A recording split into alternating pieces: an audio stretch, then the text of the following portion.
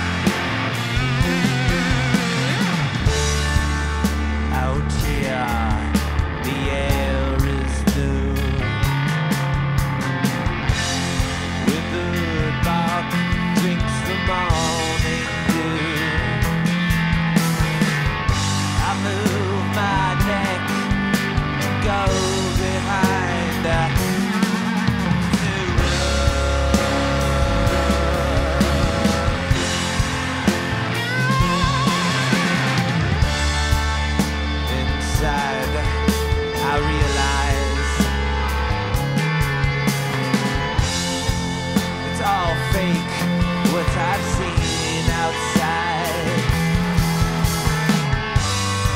behind the door.